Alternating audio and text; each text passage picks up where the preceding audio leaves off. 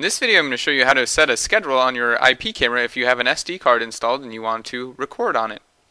So first we're going to log into our camera just using the credentials that were found on the label on our box for our IP camera.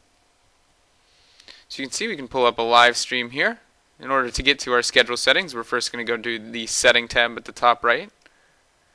And here we can see that we have the storage tab we're going to click the storage tab. Under storage we see we have the schedule.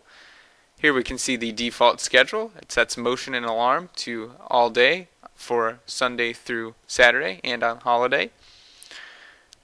We also have a snapshot schedule here. Now this is the schedule for taking snapshots on the SD card. Now let's say we wanted to record all the time and we didn't want to record the motion and alarm for this camera. Then we would uncheck normal here we could either click and drag to get rid of these like so or we can click the setting button and make sure that these are set to zero and all of these are unchecked. So this is set to zero to the end of the day and these are unchecked and then we click save and that would get rid of them. And then we wanted to click the normal and get to the very edge here, click and drag, and this will make sure that we're recording all the time, all of these days, and then we would click save. we could go back into our setting, confirm that it is set to the beginning of the day, to the end of the day, all, and then we could also click save and it would do it that way as well.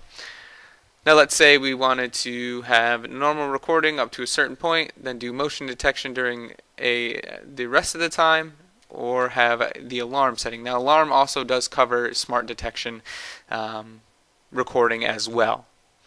But so to do something like that, we would go ahead and take away from, let's say, around 8 o'clock in the morning to around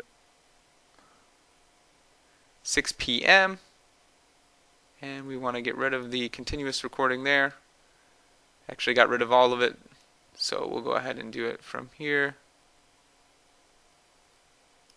We want to do continuous while we're not open at nighttime and in the morning. And then we want to do continuous at night. Again here. Just do it from here. And then we want to do motion during the day.